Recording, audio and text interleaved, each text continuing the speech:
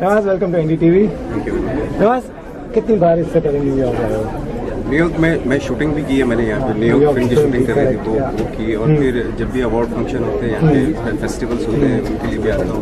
और बहुत सारे दोस्त भी हैं यहाँ पे जिनके पास मैं अक्सर छुट्टी बिताने के लिए आता रहता हूँ. Nawaz what do you like about New York energy है मुंबई जैसा है what is it about New York of course वही जैसे आपने कहा कि बहुत एनर्जी है वार्म बहुत और लाइक पैशन है सिनेमा का तो ऑफकोर्स अच्छा लगता है Nowadays, IFA is a big celebration of you know all kinds of cinema, mainly commercial cinema, with the kind of awards it is, with the kind of audience they cater to.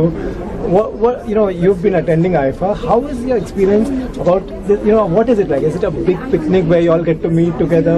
Are, are people seriously watching these movies? What do you what do you have to feel about it? I think जैसे हर countries में किया जाता है is good के at least जहाँ पे कर रहे हैं वहाँ के लोगों में थोड़ी अवेयरनेस आएगी सिनेमा को लेके भले हमारा कमर्शियल सिनेमा उसको लेके अवेयरनेस आई तो ये बहुत अच्छी बात है। दूसरा ये है कि ऑफकोर्स एक एक आउटिंग भी होती है इस बहाने।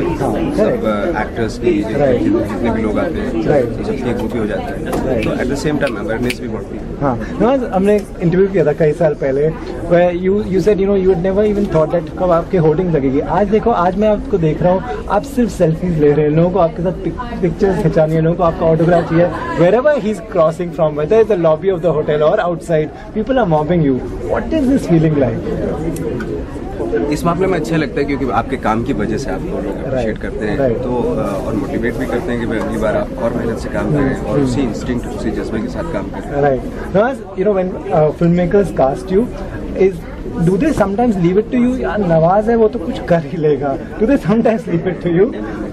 मेरा बिल्कुल भी ये नहीं ऑफकोर्स मैं जब कुछ कोई मुझे रोल मिलता है तो बिल्कुल ऐसे बिल्कुल ब्लैंक स्लेट की तरह होता हूँ डायरेक्टर के सामने कि भाई मुझसे कुछ आप बताइए कि आपके दिमाग में कैरेक्टर कैसा है और जितने भी सीन्स होते हैं उसमें मुझे पहले डायरेक्टर सबको जो डायरेक्टर के दिमाग में कैरेक्टर या उसका उसका विजन क्या है उस कैरेक्टर को लेके वो वो वो पहले समझना पड़ता है। Right so in Mom also आप फिर उसको ऐड ऐड ऐड करते सो इन मॉम आल्सो से the look in that you had in Mom was completely the director's input okay okay and now tell tell the people what to expect from Babumoshai बल्लू मेरी बाबू मोशा से of course बहुत ही like बहुत ही क्रूकी film है बहुत ही बेशरम film है और मेरी बहुत uh, लाइक उम्मीदें हैं। थोड़ा सा अगर आप uh, बहुत ही लाइक क्या कहना चाहिए बहुत ही uh, वैसी फ़िल्म है जिसको थोड़ा सा जैसे मैंने बताया कि बेशरम फ़िल्म कैरेक्टर भी वैसा ही है और अ, चूँकि ए सर्टिफिकेट है फ़िल्म का तो मैं चाहता हूँ कि